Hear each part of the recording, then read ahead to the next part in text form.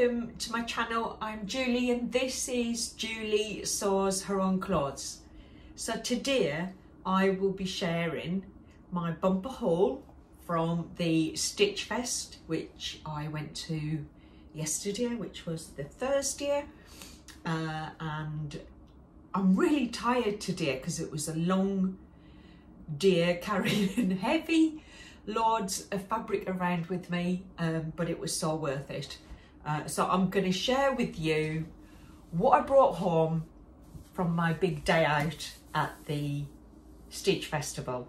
So i have got a load of notes in front of me, so I will keep looking down to make sure I don't forget anything.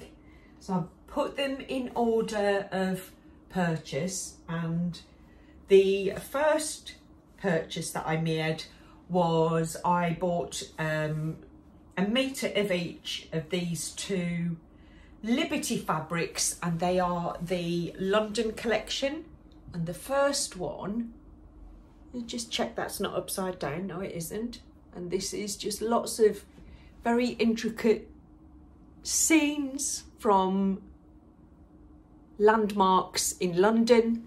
It's a beautiful um, soft Tana lawn. And I want to make a couple of bucket hats with this but I want them to be reversible. So the other fabric that I purchased was also from the London collection and here it is. So I can wear it inside out and it look very different. So they are the two Liberty fabrics that I purchased from Sewbox that was, uh, I think I was, I'd been there about five minutes before I purchased them. Um, and then on it went. So the next stall that I purchased from was Roy's Material World. And I started to look over, there was a, a load of bolts of fabric that were just beautiful colours and who was telling me that they were Liberty fabrics that he brought back from Italy and I I just fell in love with this one. They're just soft watercolour type flowers and this was £12 a metre um, in these beautiful floral colours floral colours. Floral isn't a colour. Floral isn't a colour. Can you tell I'm a little bit tired this morning? But they are really beautiful um, and I think it's going to make a really lovely blouse. It's so soft. That fabric is so soft. And actually, the purchases that I bought today, there are lots that go with each other so they can kind of You'll see what I mean as I go through, um, as I go through the rest of them. But that was the only fabric that I purchased from Roy's Material World. Um, I guess it felt busy round about lunchtime and it was very, very hot in there all dear. Um, so it felt, it felt hot, you know carrying stuff around and some stores got very busy. So I don't know what it's going to be like on the Friday and Saturday because I know those days are much more popular than the Thursday. So I'm really glad that I did go on the Thursday. I think that was really good for me. I'm, I don't do that well in big crowds. Um, so it was just right for me, really. I then went and found the Lady McElroy stand and I purchased um, two point, this was a remnant and it was 2.2 metres of the Nightlife Tokyo. I'm just going to check I have this the right way up. I think I have. Yes, I have. I think most of you would have seen this fabric. It's not brand new, but it's something that I've kind of looked at a few times and thought that's really lovely. This was marked down at £12 a metre. There was 2.2 metres and he gave me that for £22. Lovely fabric, so soft. Um, it's a cotton Marley lawn and I want to make a button down shirt with that. And I've earmarked what I'm which one I'm going to make.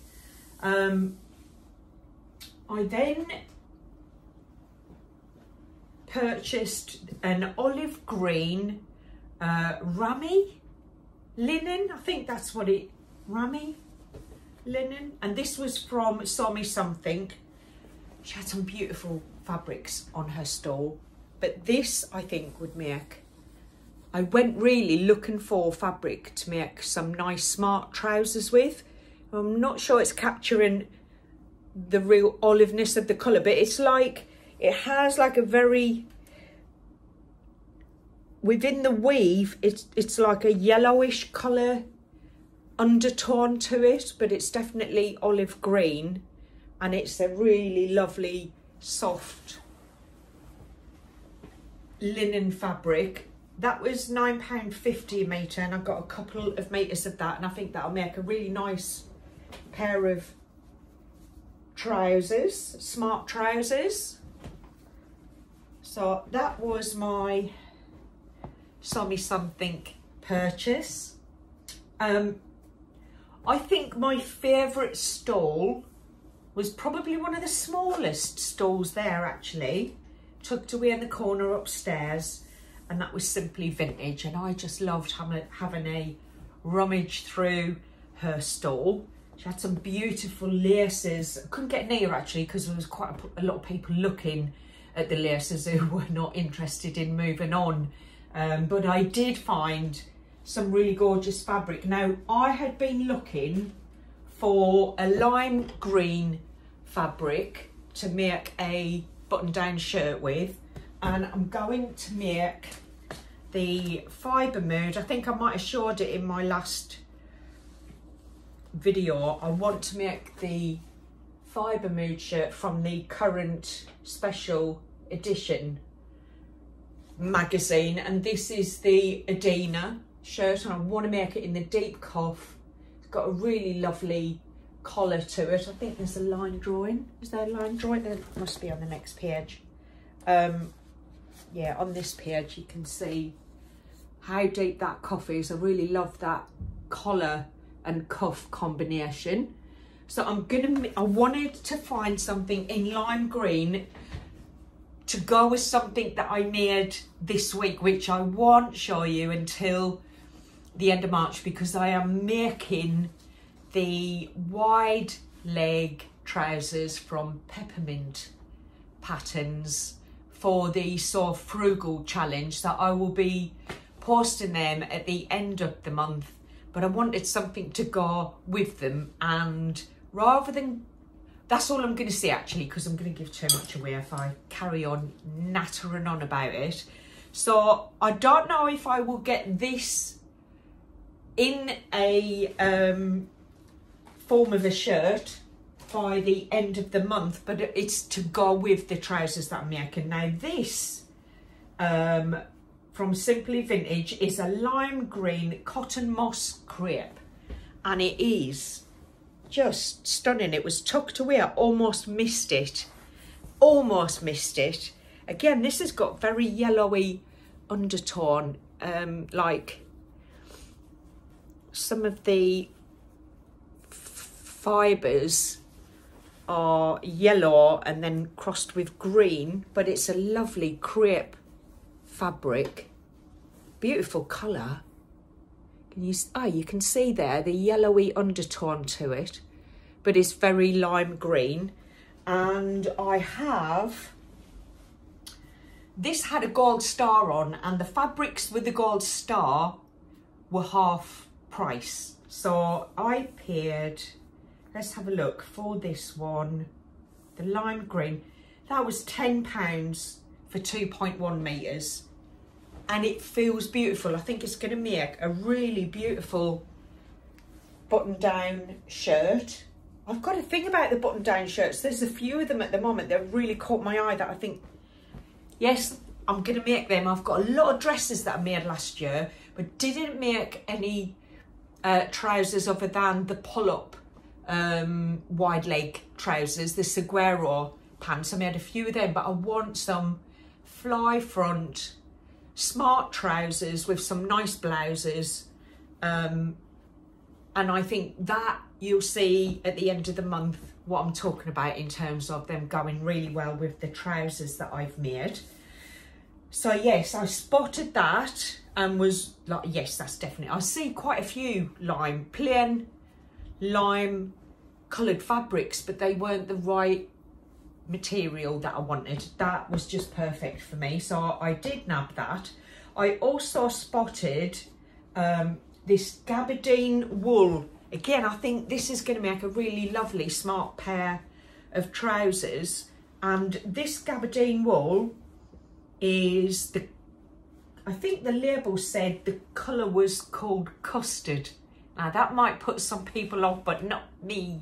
I love it. And I purchased, um, this was in a two metre bundle for £15 and it is just there's a little bit of fluff on there. It's just a beautiful, let's see if I can catch the colour of this. It's not, there you go. There you go. It's a really lovely fabric and it's it feels like a very light linen um, but it's not a linen it's um, a gabardine wool.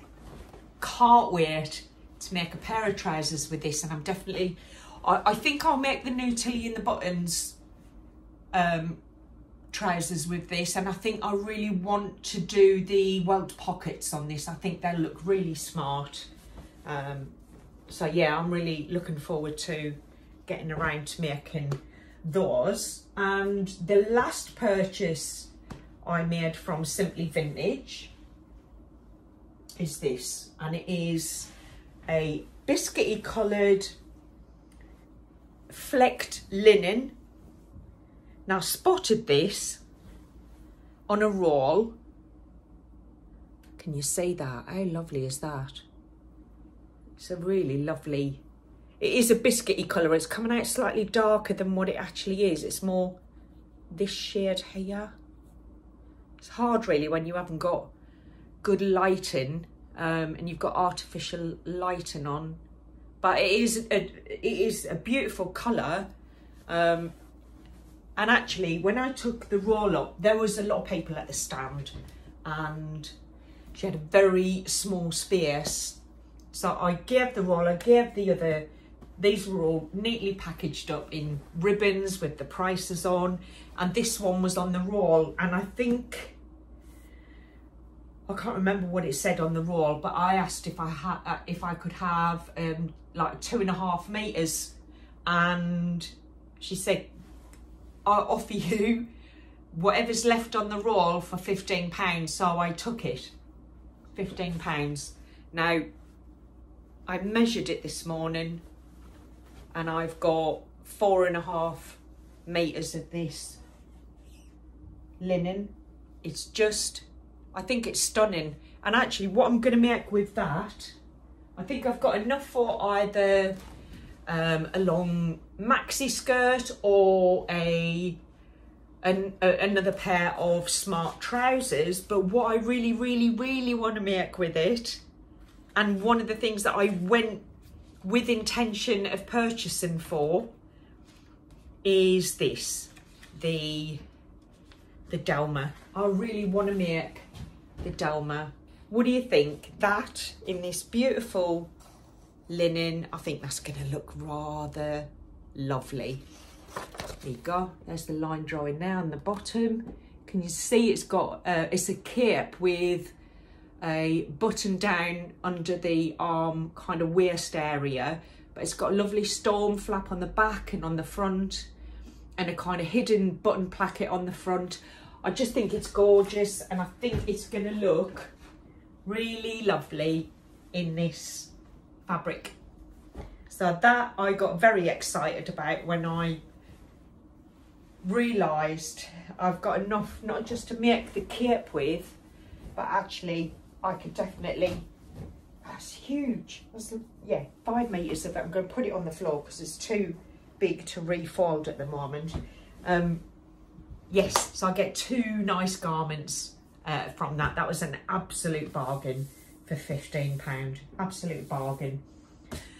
The last piece of fabric that I purchased was from Lily Fabrics and it is a plain orange cotton. I got two meters and it was six pound a meter. It's quite a stiff cotton.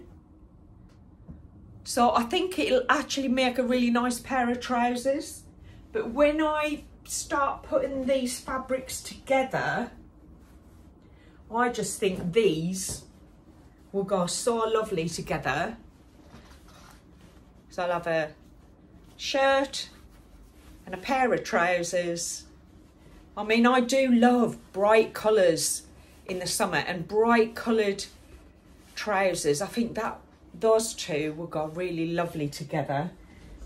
So I also purchased from Ethel and John some buttons. So pulling things together, I think these buttons on this, I don't know if you can, I'll just pull one off. I'll pull one off and show you against the fabric. How lovely. It's disappeared. It looks, there's just such a good mix for those purples but the orange really pops out with the trousers so I think those buttons will make a really nice button down shirt from the Nightlife Tokyo and the orange plain cotton they I think will look stunning together so I've got two packs of those because I think if I do make that fibre mood shirt with that fabric, I think there's two or three buttons on the cuff as well as down the front. So I've got two packets of those. And I also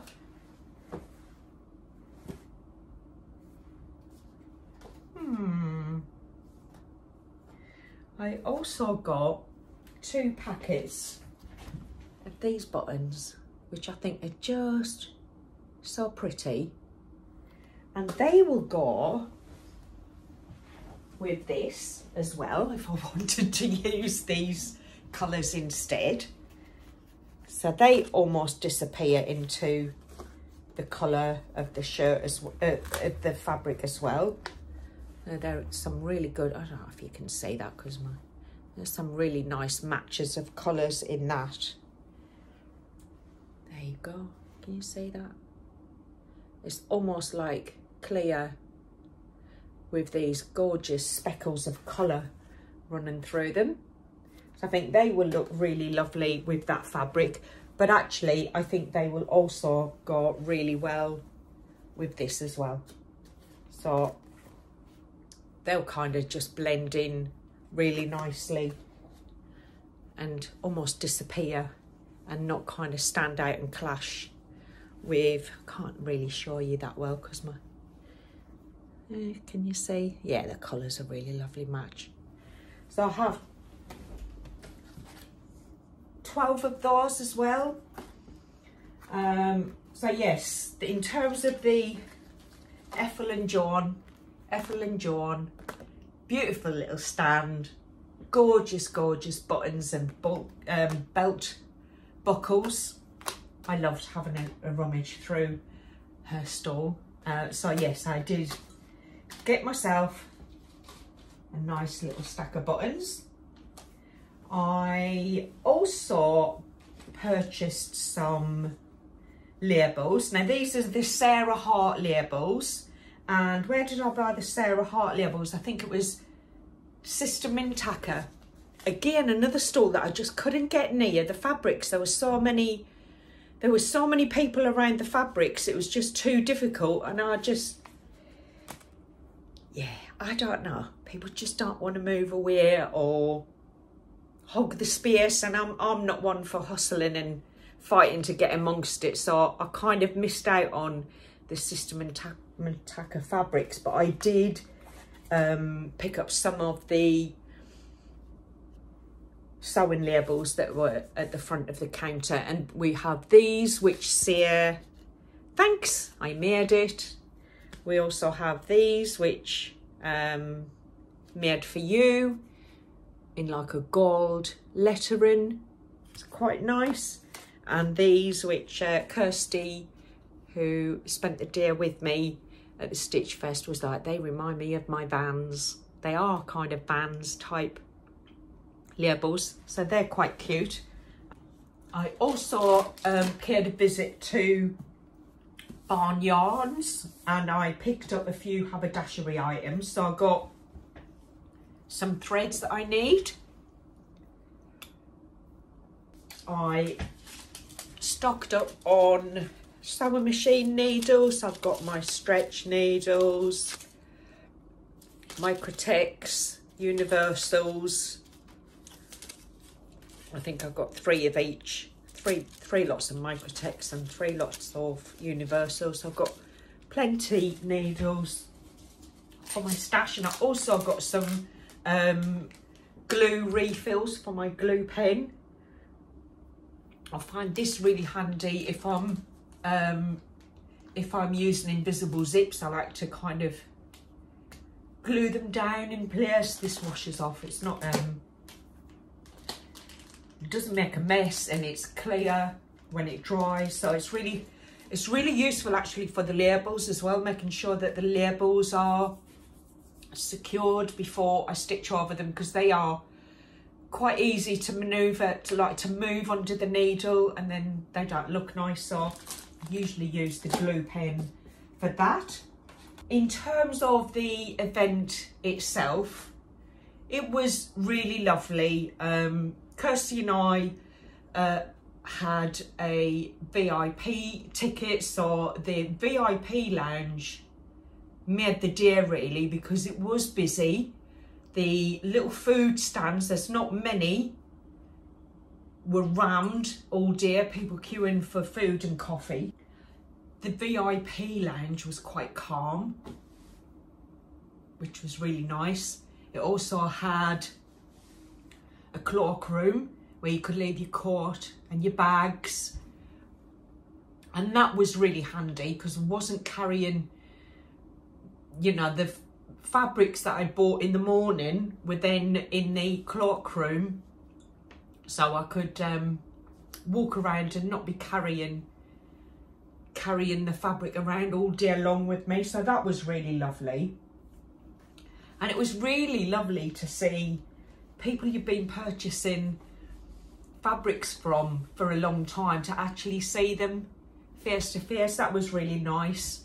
I really enjoyed watching the catwalk um, and it was lovely to see um, other people there. It was really nice to meet people who have connected with on uh, on YouTube or on Instagram and to actually meet face to face was really nice.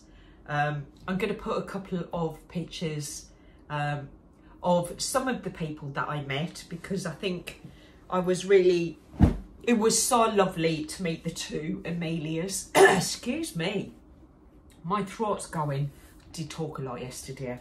My throat is going, but I did meet um, Amelia Ellen Sews and Sew Amelia. Uh, I think it's just wonderful that those two ladies are from the same country. They're both sewists, They've both got the same name and they've kind of met and become good friends through YouTube and Instagram. So it was lovely to see those two ladies together. I've been following their um, channels for quite some time now. And um, yeah, it was really nice. It was really nice to just say hello and have a little chat with them, see what they were purchasing. And I did meet um, Liz. Liz, you were lovely. I mean, we just giggled at each other. I don't know what that was about. But we just, we both got a little bit embarrassed and just giggled at each other for a bit. But Liz is on Instagram as for Now. And she was just so lovely I was just really delighted to meet you. So I'm glad you did come over and say hello. I'm not sure how I feel that you and your husband both recognised me by my voice before you even saw me. That's a bit strange. Um, I don't know. I don't know how I feel about that. That was quite amusing. Um, but yeah, it was really lovely to meet you and chat with you and to see what you'd purchased as well. Uh, and I know that you had a, a, lovely day. I also did bump into Sue Lansdowne very briefly. It was very busy on that corridor um, and Sue did see it in the chat from my last video that she was coming along on the Thursday and she, she would say hello and she did. Uh, it was lovely to see you Sue and Susie and there were um, another couple of ladies and I'm sorry I didn't remember everybody's name. I did try and write them in my notes on my phone but I think at times in the day I felt really busy and bustly in terms of trying to keep out the way of trolleys and buggies and yeah so it was just a fun day it was a fun day met some lovely people, met some lovely stall holders. Um, I had a great time. I had a really great time. I've got a lovely fabric haul and I've got some really strong plans on what I'm going to make with those. Uh, so I don't think they're going to sit in my stash. I think this batch of fabrics, along with two other things that I've already got in the sewing room that I really want to make up, uh, are kind of firmly on the get made plans. For those of you who noticed my last, I can't believe I did this, but my last video, I was talking about what I'd been making and I didn't even realise that behind me, Annie the Manny was wearing the uh, DVF wrap dress that I'd started.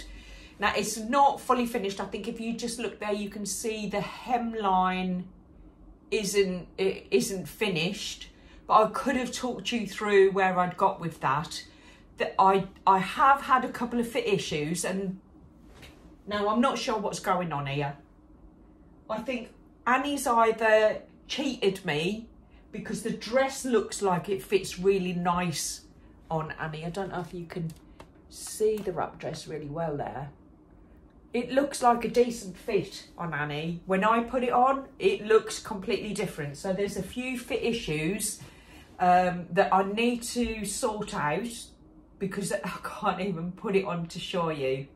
I'd be flashing too much of the boobage at you, which it wouldn't be nice for anyone. Um, so I, I need to do a little bit more work with the with the wrap dress, but I hope to be able to share with you very soon um, how how that's ended up because it's not quite finished yet. So, but yeah, I forgot to even mention it, and then realised as I was editing, like she stood behind me the whole time, um, and yeah, I forgot to mention that I'd done quite a bit of work on the wrap dress, but it's not complete yet. So I will pursue that and see if there's any way I can get it to fit me better.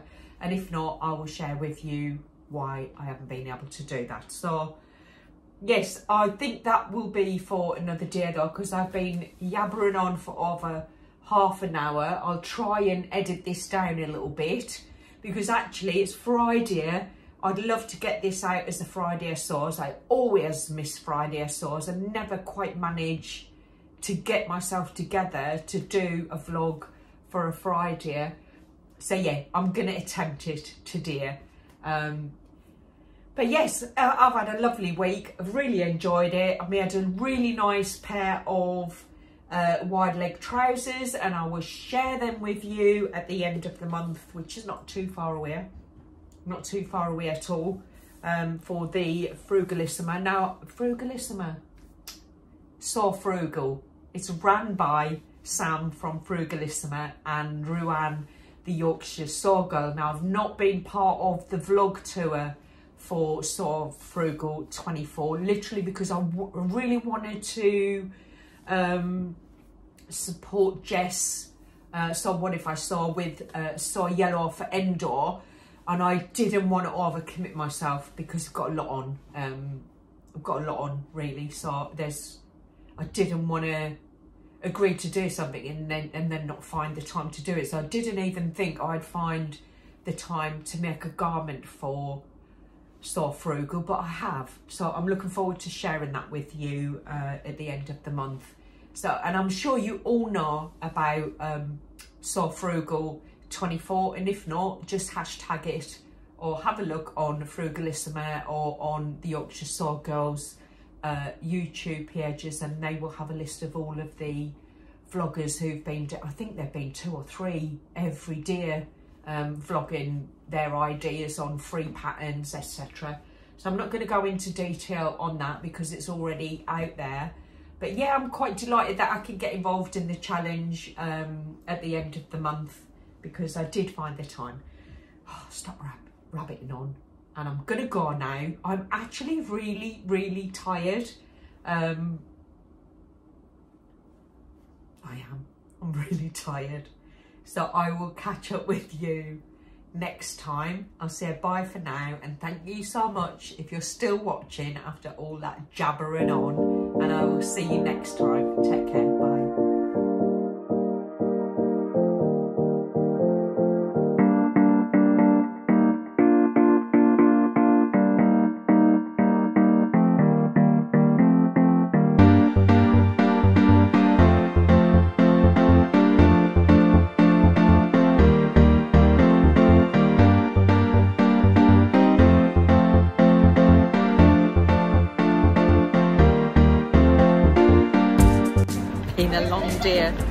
Managed to get back to Tower Hill and now I'm waiting for my husband and we're going to have a little drink before we get the train back to Essex.